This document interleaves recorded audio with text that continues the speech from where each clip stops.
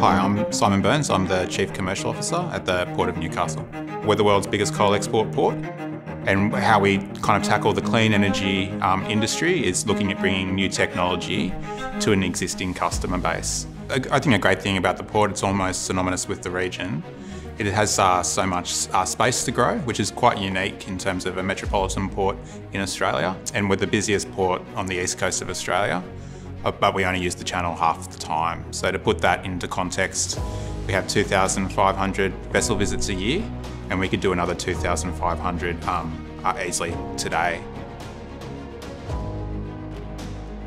We're looking to diversify the trade we do, adding into what happens out there already. But when we, when we talk about clean energy opportunities or we talk about doing the container terminal, we're talking about doing it here because it's the best place in Australia to do that.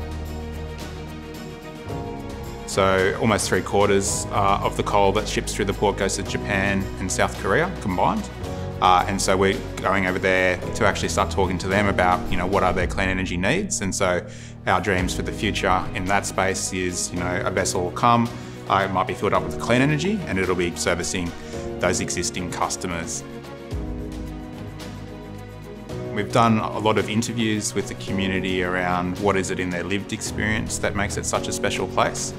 It's a funny one because it's easy to hark back to, you know, there's these infrastructure developments or these economic outcomes which we all want to achieve, which is great.